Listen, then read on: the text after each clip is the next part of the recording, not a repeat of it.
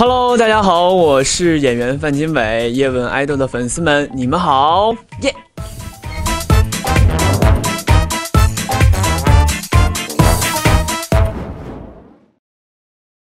可不可以用四个字形容一下乔一帆？四个字吗？我能用三个字吗？小天使，真小天使，呃，四个字。那你觉得自己是小狼狗的类型，还是小奶狗的类型？呃，你是问一帆还是范金伟？范金伟的话就是可盐可咸，可小奶狗也可以小狼狗。乔一帆小天使。那和师哥杨洋搭档会不会有压力？其实刚开始的时候是会有压力的，因为在我心目中他一直是我的一个偶像，一个学习的榜样。乔一帆在剧中是像杨洋的小儿子，而你现实中呢是杨洋的师弟。忘了辈分，对这个事情有没有什么感觉？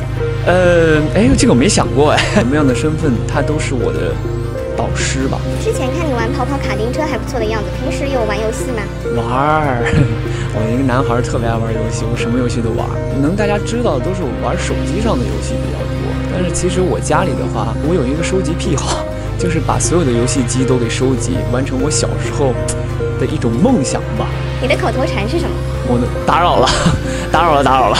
假如你变成女生，你会最喜欢哪一个男艺人？这是什么问题？杨洋，最可爱的表情。最可爱的表情。嗯，粉丝们都在问你的下一个 vlog 要什么时候发？嗯 这个这个这个这个，我会我会我会尽快，我会尽快。因为我平时戴帽子比较少，呃，我不知道为什么我戴帽子很丑，但是那天戴了一个帽子，还觉得难得能戴到一个很好看的帽子，我就一直在戴了。平常会喜欢穿什么样子的衣服？就日常生活。呃，其实我我我被我的工作人员骂过好多次，说我穿衣服就是太随意了，所以我家里有这么落了这么厚的白 T 吧，我同样的白 T 我能买两三件。如果在生活里和朋友打游戏，然后因为自己的失误输了，你会怎么办？哎呦，我会感觉挺对不起大家的，就尤其是当你玩游戏的时候，突然来了个电话，正在团战最关键的时候，你掉链子了，所以经常来了个电话，我要不就挂掉，要不然就是对不起，我那个玩游戏的，马上马上，叭就挂了。但是挂完以后会立马给他们回过去。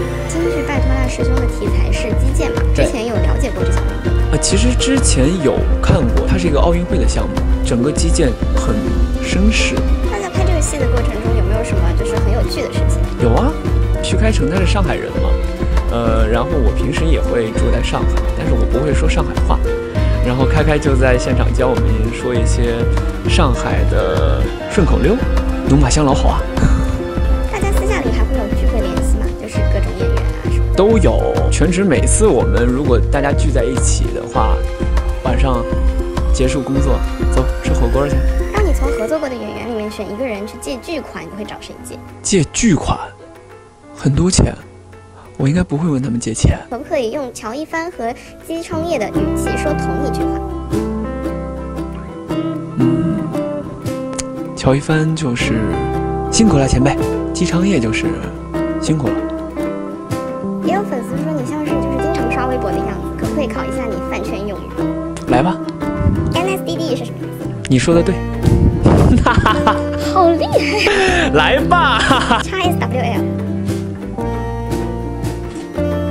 x S W L，笑死我了。对，那 KSWL 呢不知道，这个不知道。这个是哭死我了。哦，K S W L，哭死我了，我记住了。可不可以形容一下你的理想型？我的理想型，哦，就像我妈妈一样就行，贤惠、温柔、大方，呃，然后能照顾到家庭。叶问爱豆的朋友们，我们下次见，拜拜。